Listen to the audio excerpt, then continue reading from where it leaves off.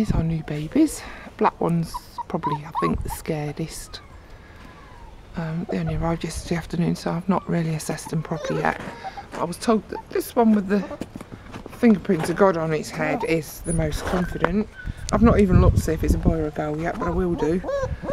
And we've got this beautiful dark brown and white one.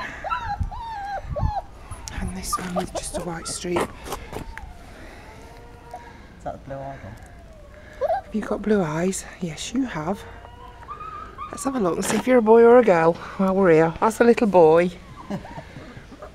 This one is, that's a girl. The brown and white one's a girl. The confident one, yeah. Let's have a look at you. You're a girl. I know there's three girls and two boys. Who haven't I done? This one. I've done that one. Come here, baby. Let's just have a look at your bits. That's a girl. The black one's a girl. you can remember this lot, Sue. No. Oh God, I'm gonna have to take some photographs and uh, so we know what's what.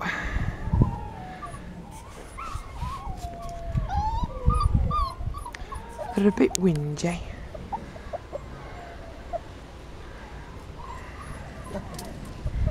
Aren't you? Hey.